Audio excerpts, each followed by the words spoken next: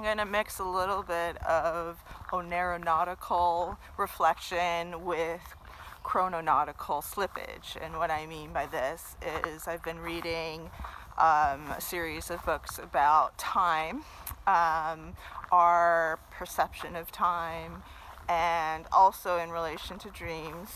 Um, in the 1920s, J.W. Dunne uh, wrote, I think it was 1927, an experiment in time or experiment with time.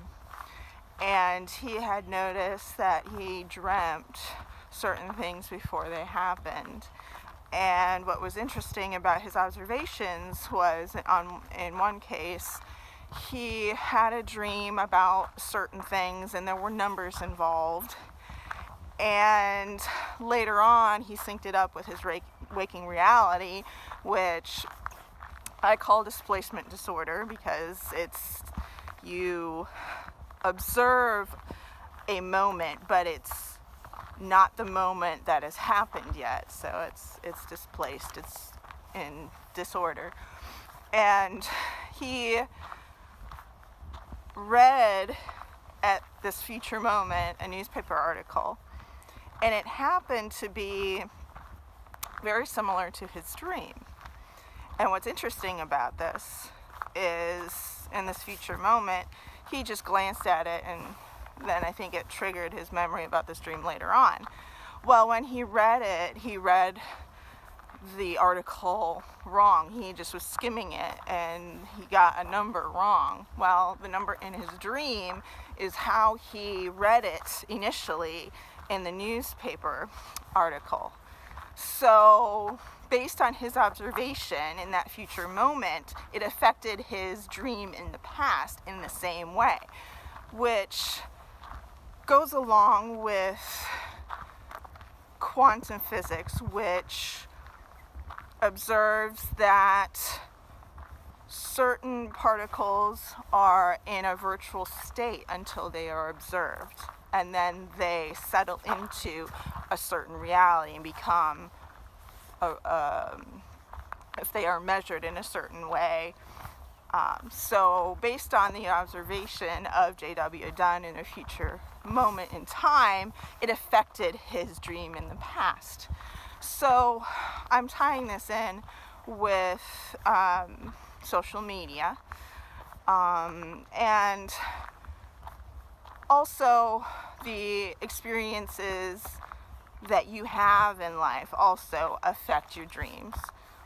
But just to consider that not only do they affect your dreams based on past experiences or what you're going through at a certain point in time or any number of observations that you make unconsciously and don't really pay attention to and then they come to the forefront in your dreams but also any information that you take in, if you're skimming an article or just glance at a, at a photo, it does affect dreams in some way. And not only does it affect a present dream, talking about maybe a past, something that you read, but also that you will read.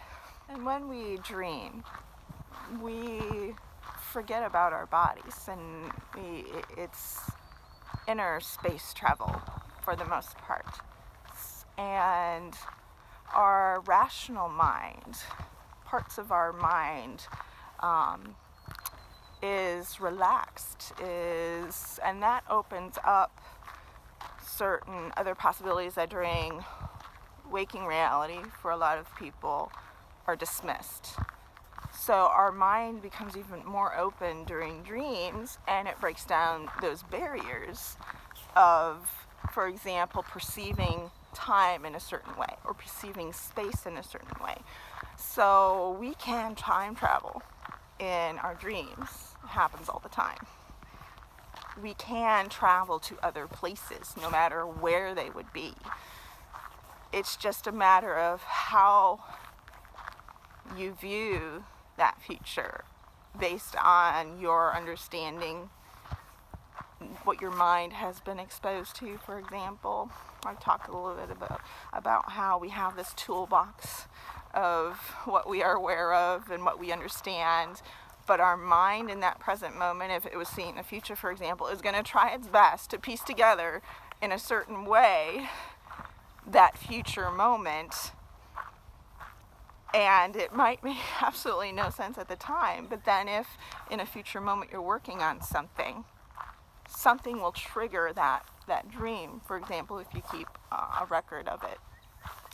And so it's, it's nice to know that maybe you're stitching together even though you have to continue working on something in the present, that your future self might actually be helping you get to that point in the future, which um, is time travel. So, um, another reason why paying attention to dreams and improving your dream recall, um, and for every person, it's going to be a little bit different the conditions under which you dream may be different. So maybe if you're a creative person, you work on creative things and those spawn some some dreams that might not have anything to do with what you're working on.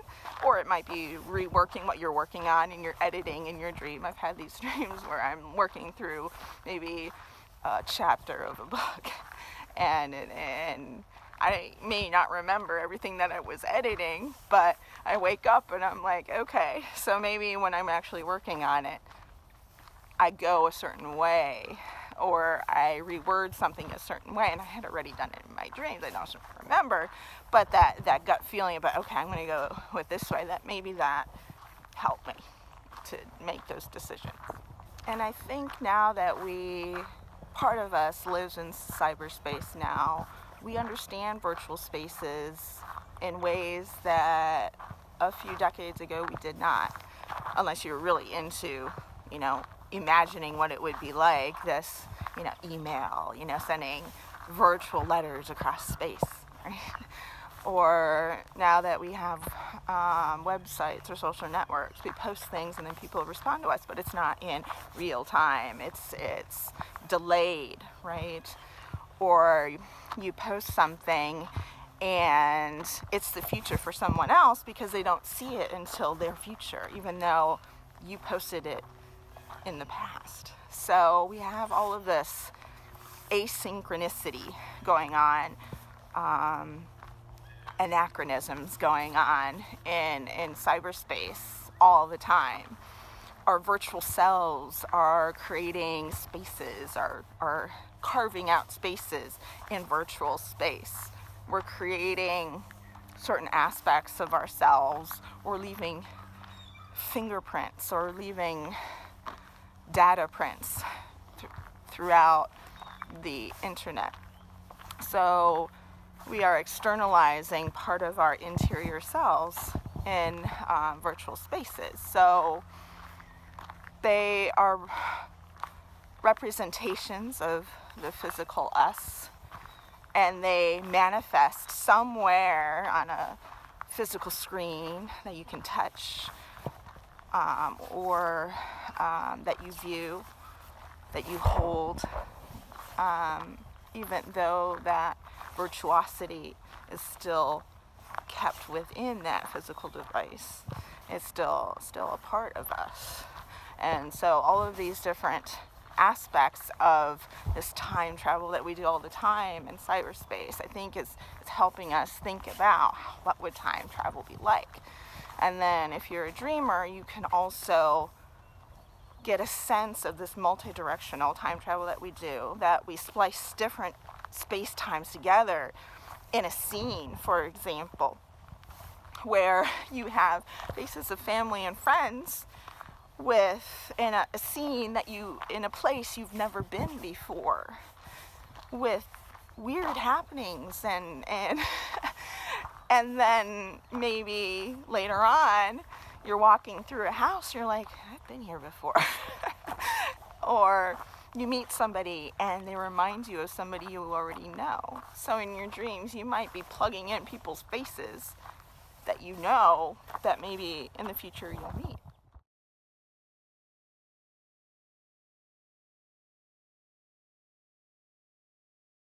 There are different ways to conduct the double slit experiment, and one of them is delayed choice, which is interesting. If you choose to switch on the detectors after the experiment, there are two patches of light. If you do not switch them on, there is an interference pattern. This is what happens even if you make the choice long after the photons have passed through. It seems almost ridiculous as if you are changing the past depending upon the choice made well after the experiment has ended. How can any decision that you take after the photons have clearly already passed through the slits possibly interfere with things that have long since happened? The only apparent conclusion is that time travel is taking place.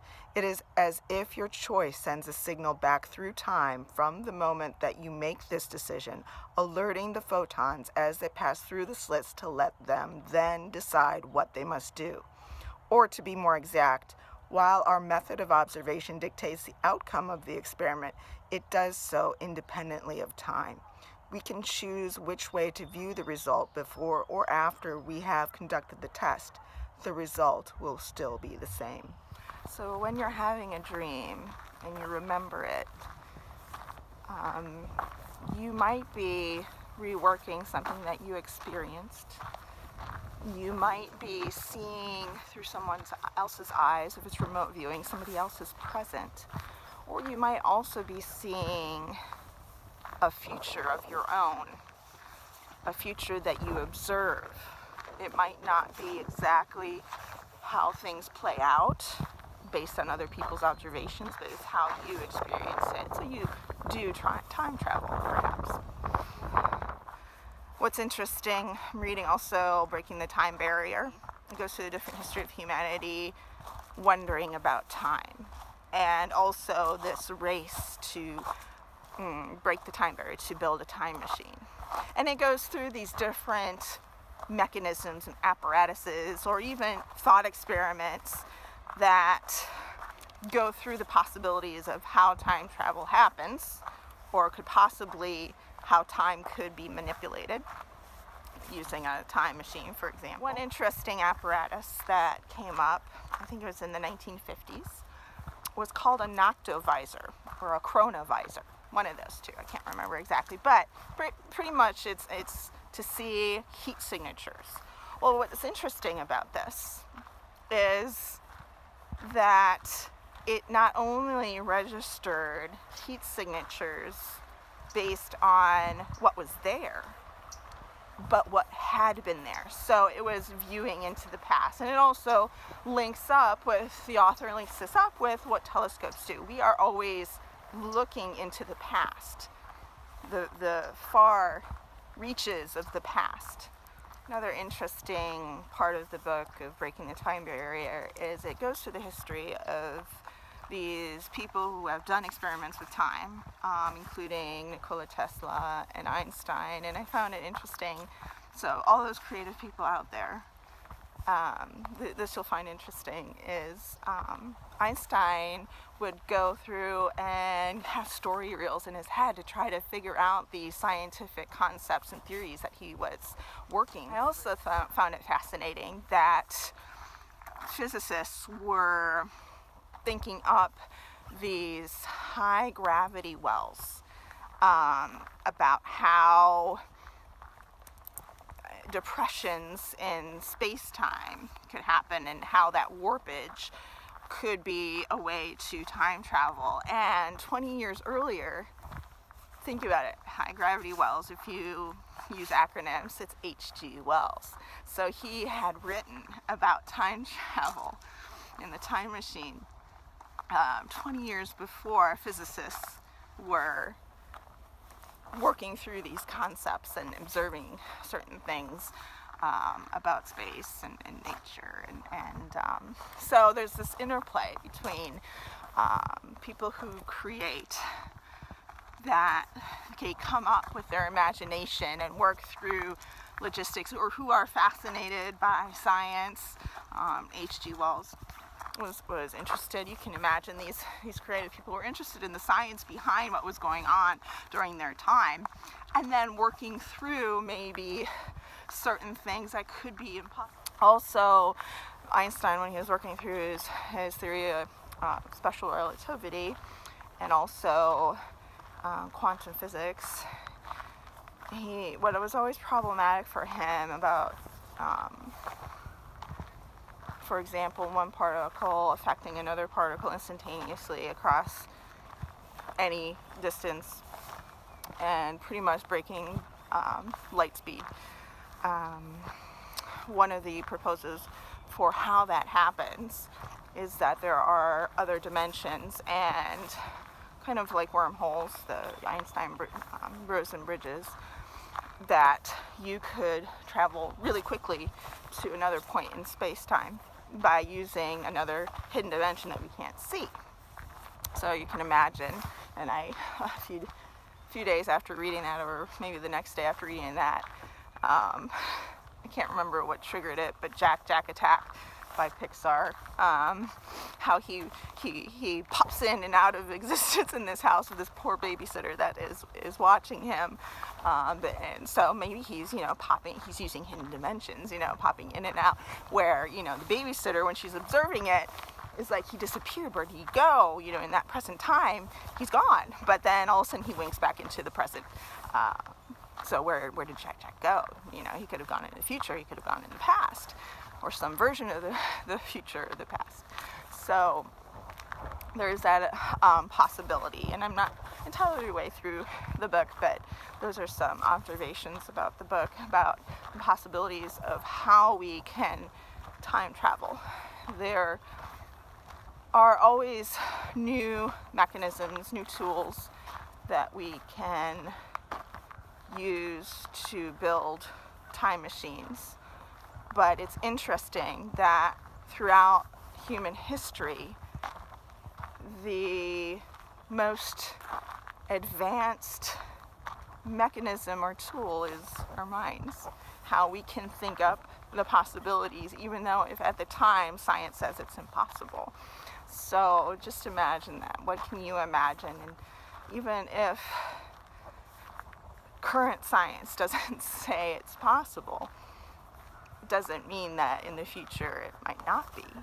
But um, bending these rules of existing um, known laws of science, um, and that uh, we've seen throughout history that has happened. We've had to revise the science code, right? We've had to, to revise how we understand nature and things that are observable and the cosmos, things that currently we can't see, and then all of a sudden we can see more, um, whether it's microscopic or very large, massive um, um, space objects. I'm a very visual person, so uh, sometimes I have the things that I bring back from dreams deal with directions like point of view, I always try to, if I draw out or describe my dream, my line of sight from, from what I see. And based on that line of sight, um, I call it uh, an aeronautical perspective, where you're doing a 360 around and up and down. So you're like in a sphere. You're kind of whirling around, right? Kind of in a gyroscope way. And so, in your dreams, if you become aware, for example, or if you also, I don't know, I think if you if you do affirmations about I, you know, before you fall asleep, saying I'm going to view my dreams in as many perspectives. I'm going to pick up the parts of my dream that I think are important. And for me, sometimes in dreams I pick out shapes in different colors and I focus in and describe and minute detail, certain things that may not, in maybe real life, you would pay attention to the different colors and shades of a flower, for example.